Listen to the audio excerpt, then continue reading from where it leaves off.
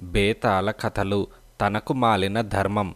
పట్టువదలని విక్రమార్కుడు చెట్టు వద్దకు తిరిగి వెళ్ళి చెట్టుపై నుంచి శవాన్ని దించి భుజాన వేసుకుని ఎప్పటిలాగే మౌనంగా శ్మశానం కేసి నడవసాగాడు.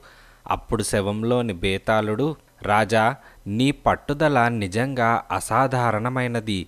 కానీ నీవు తనకు మాలిన ధర్మం తలపెట్టావేమోనని నా భయం. అలా చేసిన పక్షంలో వినీతమతిలాగే నీవు కూడా సమస్తము పోగొట్టుకోగలవు.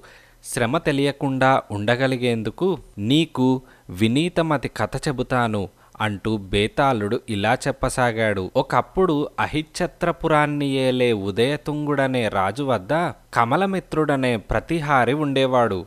వినీతమతి ఆ కమలమిత్రుడి కొడుకు. అతను సకల సద్గుణ సంపన్నుడు. ఒకనాటి రాత్రి అతను పండు వెన్నెలలో మేడపైన పడుకొని ఉండగా వెన్నెల కాంతిలో అమిత అందంగా కనిపిస్తున్న చెట్లలోకి వెళ్ళి వనవిహారం చేయాలన్న బుద్ధి పుట్టింది.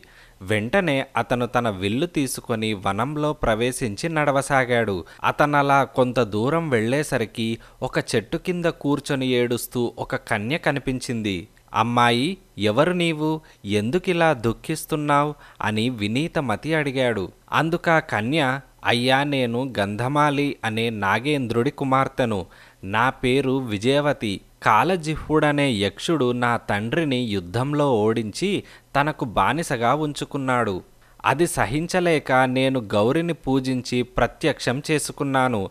ఆ దేవి నాకొక దివ్యమైన కత్తిని ఒక తెల్లని గుర్రాన్ని ప్రసాదించి వీటిని నీకివ్వమని వాటి సహాయంతో నీవు కాలజిహ్వుణ్ణి జయించి నా తండ్రిని విడిపిస్తావని ఆ కత్తి సహాయంతోనే నీవు శత్రువులను జయించి రాజు అవుతావని అన్నది.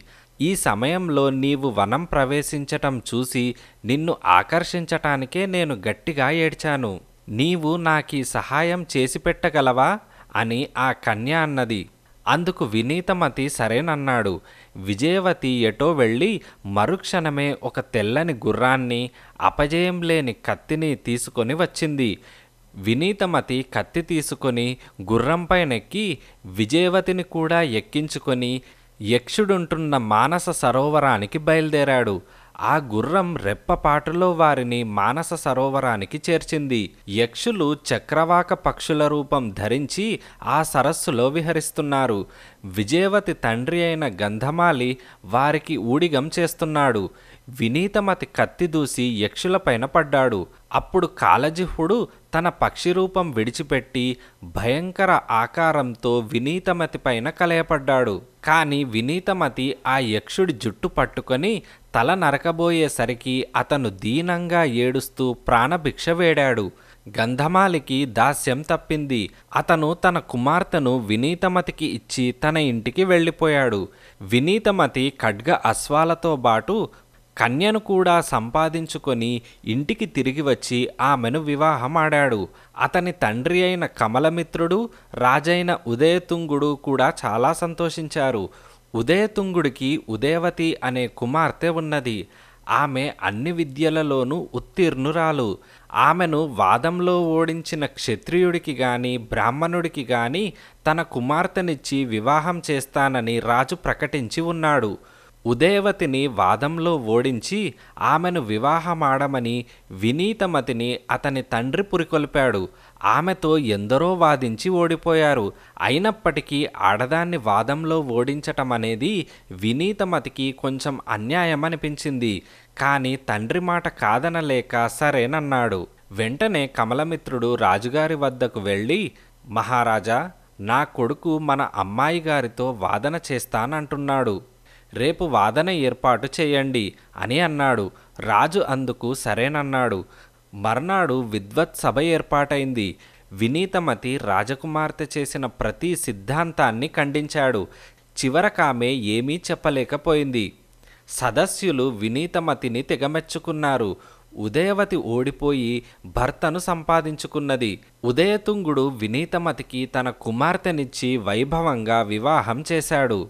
కొంతకాలం గడిచింది. ఉదయతుంగుడు వృద్ధుడై రాచకార్యాలు నిర్వహించలేని స్థితిలో పడ్డాడు. ఆయనకు కొడుకులు లేకపోవటం చేత అల్లుడికి పట్టం గట్టి ముక్తి కోసం గంగా తీరానికి వెళ్ళిపోయాడు. వినీతమతి రాజ్యం ఏలుతూ తన ఇద్దరు భార్యలతోనూ సుఖంగా ఉన్నాడు. ఇంతలో ఒకనాడు ఇందుకలసుడనే రాజకుమారుడు ఉత్తర దేశం నుంచి వినీతమతిని చూడవచ్చాడు. వినీతమతి అతనికి యథోచితంగా అతిథి మర్యాదలు జరిపి అతను వచ్చిన పని ఏమిటి? అని అడిగాడు. అందుకు ఇందుకలసుడు దేవా నీవు కల్పవృక్షం లాంటి వాడివని ఎవరేది అడిగినా తప్పక ఇస్తావని విన్నాను. నేను నా తండ్రిదైన రాజ్యాన్ని ఏలుకుంటూ ఉండగా నా తమ్ముడు కనక కలసుడు పెద్ద బలంతో నా పైకి వచ్చి నన్ను నా రాజ్యం నుంచి వెళ్ళగొట్టి నా రాజ్యాన్ని అపహరించి అనుభవిస్తున్నాడు. నీ వద్ద ఉండే అశ్వము ఖడ్గము నాకిచ్చినట్టయితే వాటి సహాయంతో నా తమ్ముణ్ణి ఓడించి నా రాజ్యాన్ని నేను తిరిగి పొందగలను అని ఇందుకలసుడన్నాడు. వినీతమతి సంకోచించకుండా వెంటనే ఇందుకలసుడికి తన గుర్రాన్ని ఖడ్గాన్ని ఇచ్చేశాడు. ఇందుకలసుడు వాటి సహాయంతో కనక కలసుణ్ణి జయించి తన రాజ్యాన్ని తాను తిరిగి గెలుచుకున్నాడు. అన్న చేతిలో ఓడిపోయిన కనక కలసుడు ఏడుస్తూ అహిచ్చత్రపురానికి వచ్చి వినీతమతి భవనానికి ఎదురుగా చితి పేర్చుకొని అందులో పడి కాలిపోవటానికి సిద్ధమయ్యాడు. అప్పుడు వినీతమతి కనక కలసుడి వద్దకు వెళ్ళి నాయనా ఎందుకు ఆత్మహత్య చేసుకుంటున్నావు? నీకు కావాల్సింది రాజ్యమే కదా. నా రాజ్యం తీసుకో నాకు సంతానం లేదు. నీవే నా కొడుకు అనుకుంటాను అని కనకకలసుడికి రాజ్యాభిషేకం చేసి తన ఇద్దరు భార్యలను వెంటబెట్టుకొని వనవాసం వెళ్ళిపోయాడు. బేతాళుడు ఈ కథ చెప్పి రాజా నాకు కొన్ని సందేహాలున్నాయి. వినీతమతి ప్రవర్తనకు అర్థమేమిటి? తాను రాజై ఉండి రాజ్య రక్షణకు ఎంతో సహాయపడే కత్తిని గుర్రాన్ని ముక్కు మొహము తెలియని ఇందుకలసుడికి ఎందుకిచ్చాడు? సాటి రాజును ఆదుకుందామని ఇచ్చాడే అనుకుందాం. అలా అయితే ఇందుకలసుడి చేతిలో ఓడిపోయిన కనక కలసుడిపైన సానుభూతి చూపి తన రాజ్యమే అతనికివ్వటంలో అర్థమేమిటి? అన్నను జయించి రాజ్యం గెలుచుకున్న కనక కలసుడు అన్న చేతిలో ఓడిపోయినప్పుడు ఓటమి ఒప్పుకోక వినీతమతికెదురుగా వచ్చి చితి పేర్చుకొని చావబోవటంలో అతని ఉద్దేశం ఏమిటి ఈ సందేహాలకు సమాధానాలు తెలిసి కూడా చెప్పకపోయావో నీ తల పగిలిపోతుంది అని బేతాళుడన్నాడు. దానికి విక్రమార్కుడు వినీతమతి ప్రవర్తనకు పూర్తిగా అర్థమున్నది. అతనిలో రాజ్యకాంక్ష ఏనాడూ లేదు. ఏ ఉద్దేశంతో విజయవతి అతనికి ఖడ్గము అశ్వము ఇచ్చిందో ఆ ఉద్దేశం నెరవేర్చటానికి మాత్రమే వాటిని ఉపయోగించాడు. రాజుకు వేరే సంతానం లేదని రాజకుమార్తెను తాను వాదంలో తేలికగా ఓడించగలనని తెలిసి కూడా అతను తండ్రి ప్రేరేపించిన దాకా రాజకుమార్తెతో వాదానికి పూనుకోలేదు. ఒకసారి రాజయ్యాక కూడా అతను తన ఖడ్గాస్వాలతో ఇతర రాజ్యాలను జయించటానికి ఎలాంటి యత్నమూ చేయలేదు. వీటినన్నిటినీ బట్టి వినీతమతికి ఏ కోసాన రాజ్యకాంక్ష లేదని స్పష్టమవుతుంది.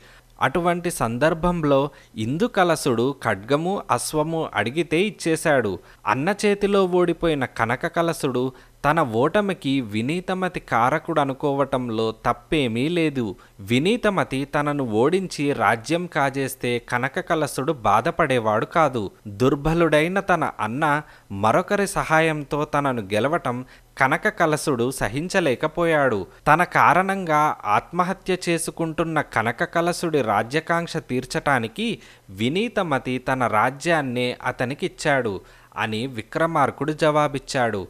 రాజుకు ఈ విధంగా మౌనభంగం కలగ్గానే బేతాళుడు శవంతో సహా మాయమై తిరిగి చెట్టెక్కాడు.